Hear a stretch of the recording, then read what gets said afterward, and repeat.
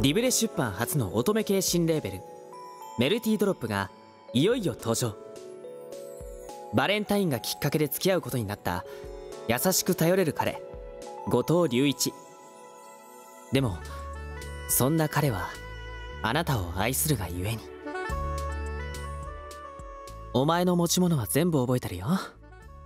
当たり前だろ。俺お前の彼氏なんだから。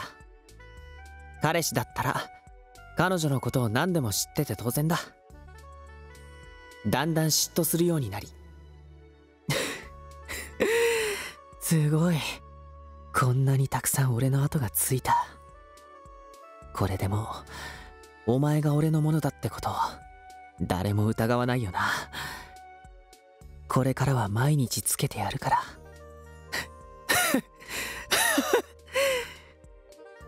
さらには執着していきお前を他のやつに触られないようにするにはどうしたらいいのかな？もっとたくさん俺の後傷をつけちゃえばいいのかな？次第に病んでいく彼の思いの行き着く先は？愛してる。お前は永遠に俺のもの。オリジナルシチュエーション CD 愛されすぎてバツバツされちゃう CD 執着彼氏。2013年。7月26日発売。ダミーヘッドマイクを使用して臨場感たっぷりにお届け。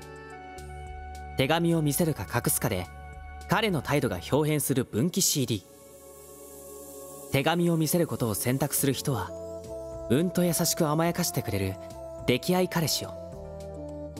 手紙を隠すことを選択する人は病んだことで執着してくる執着彼氏を。両方聞くとより一層楽しめます。さああなたはどちらの彼に愛されたいですか？もう他の男に目移りしたりするなよ。